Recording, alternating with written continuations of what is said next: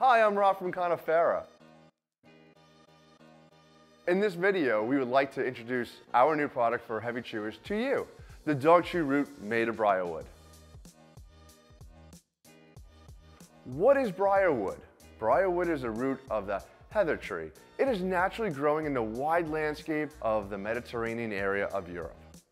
Due to its hardness and beauty, it is traditionally used for exclusive tobacco pipe production.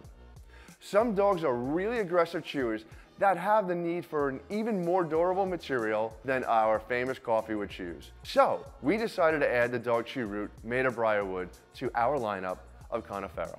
Where does our briar come from?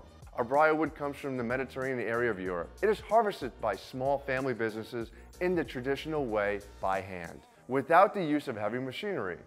This method keeps the forest intact and helps to preserve this unique landscape and related way of living for future generations.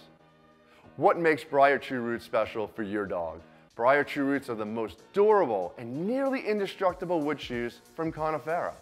These are specially suitable for the super aggressive chewers. If you experience heavy chewing behavior from your dog and our classic Canophera coffee wood chew was not hard enough, our Briar Chew Root might be the perfect product for you. Similar to our coffee wood chew sticks, it helps dogs relax and supports their dental health.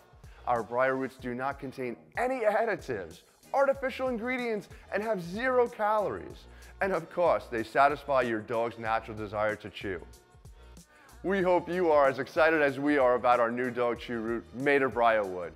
If you have further questions about our latest release or chew sticks in general, check out our FAQ videos or contact us. Thank you for choosing Canophera.